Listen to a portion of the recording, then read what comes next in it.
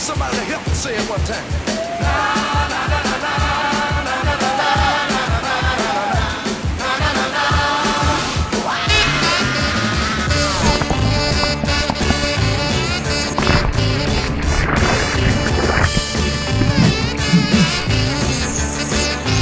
Whoa!